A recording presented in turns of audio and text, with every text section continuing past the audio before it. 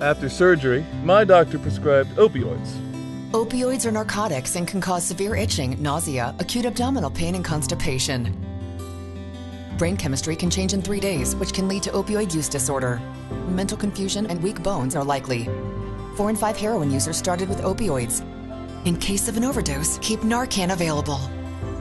Ask if you really need opioids for pain, like I did. Learn more at justplainkillers.com.